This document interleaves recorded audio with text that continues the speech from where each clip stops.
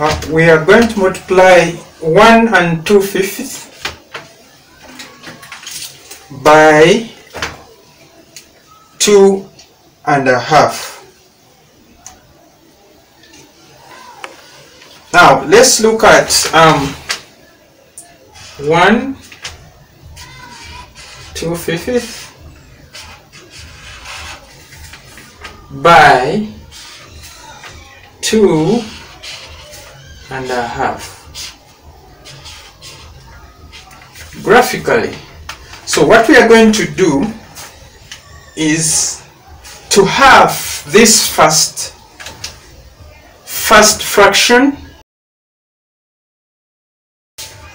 So the, this one represents uh, 1 we are going to have a rectangle which represents 1 so we are going to use the denominator 5 to divide it so we can have uh, so this is 5 but because it is a whole it is uh, we shade all the 5 that means 5 out of 5 which is one whole number. So this is how we shade it. And then we are going to have a 2 out of 5 so this is uh, the second rectangle. 4 so 5 so those are 5 parts but how many are shaded out of the 5 we have only 2 parts.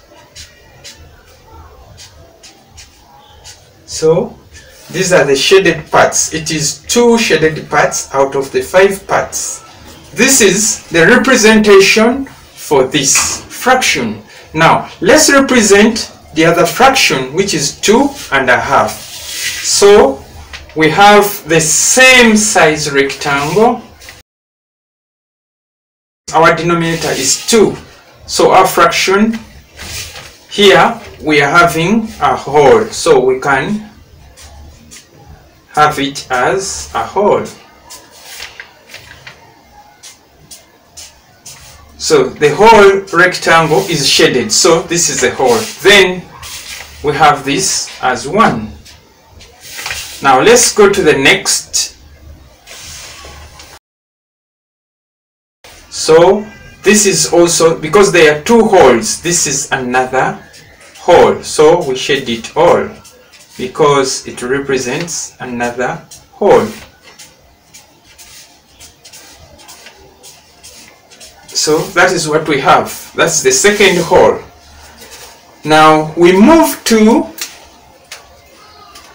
representing the half. This one represents a half, that is 1 over 2. It means out of the two columns, we are going to shade only one which means a half that is one out of two now as you see it we have said we are multiplying one and two out of five by two and a half.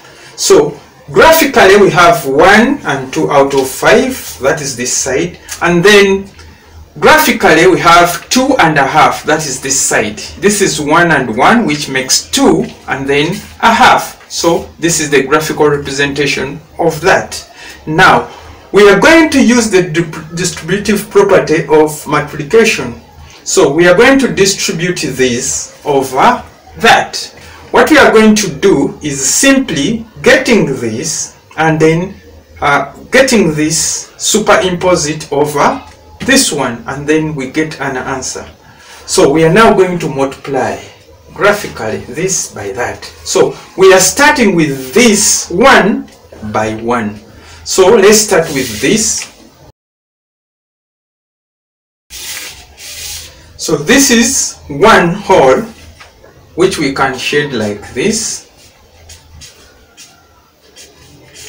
which is uh, 5 out of 5 giving 1 so this is now we are going to superimpose this one on top of this.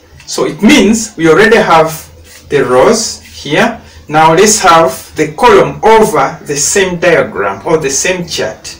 Now we are going to have it as this. So this one now, we can represent it as a whole like that.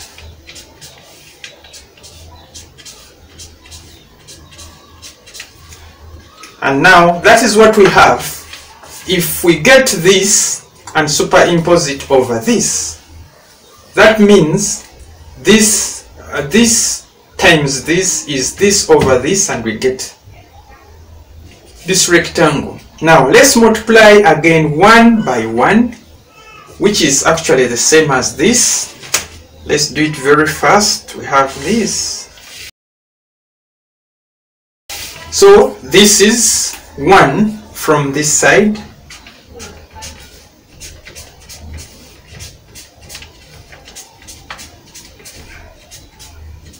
And then we have to superimpose this one.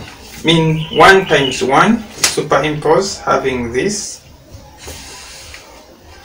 And then, uh, since this one is shaded in this format, we move like this, like this. And that is 1. I think you can see this demarcation. We have 1 by 1 giving this, 1 by 1 giving 1. Now we are going to do 1 by a half. So we come here, we have the so if we shade this, we shall have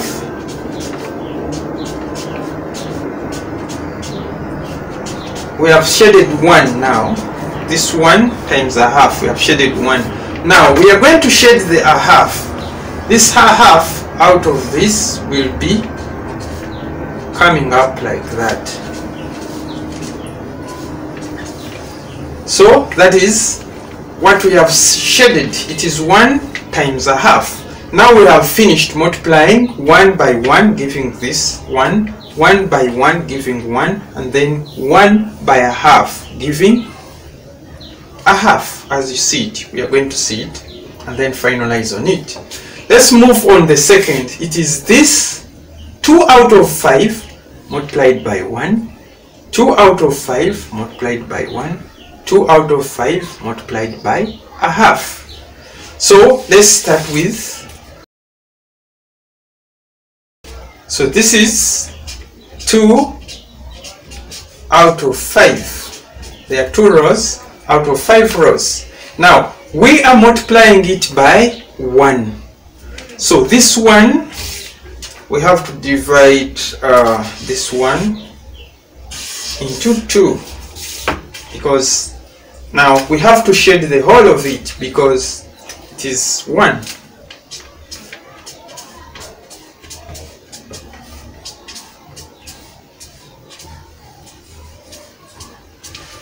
So that is what we have. 2 out of 5 by 1. This is what we get. Next, 2 out of 5 by 1 again. It is actually the same as that. Let's move our rectangle. Now, let's say it is 2 out of 5. 2 out of 5, this one, times 1. So when we multiply it with 1, we are getting this one and superimpose it over this. So what we shall have, that is fully shaded, something like this.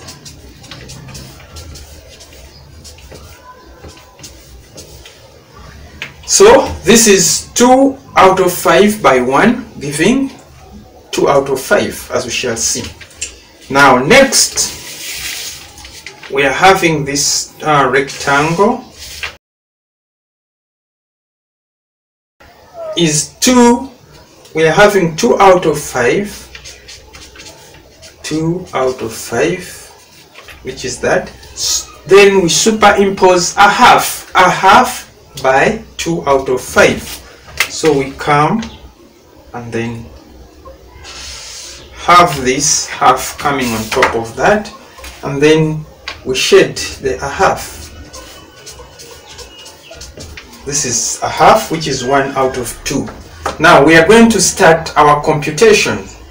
Let's put uh, uh, each of these uh, the shading for each of these on top each of these rectangles result rectangles. Actually these are all our answers as results. Now we are going to have this double shaded the whole of this is double shaded which is one two three four five rows. So we have five rows by one two by two columns. So this is 10 so the whole of this 10 is shaded twice. So we have 10 out of 10 double shaded which is 1 and then we look at the double shaded here. We have 10 out of 10 which gives 1 and then when we come here we have out of the 10 cells we have